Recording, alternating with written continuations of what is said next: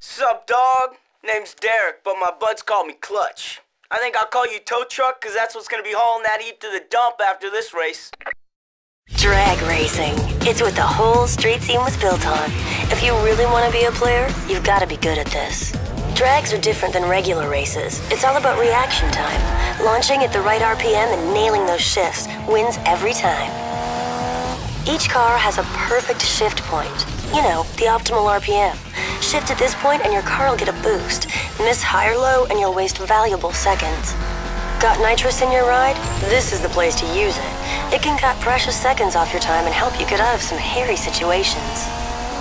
You're gonna be pushing your engine to its limit, so keep an eye on your temperature. If it runs too hot, you'll blow your engine. Okay, that's all there is to it.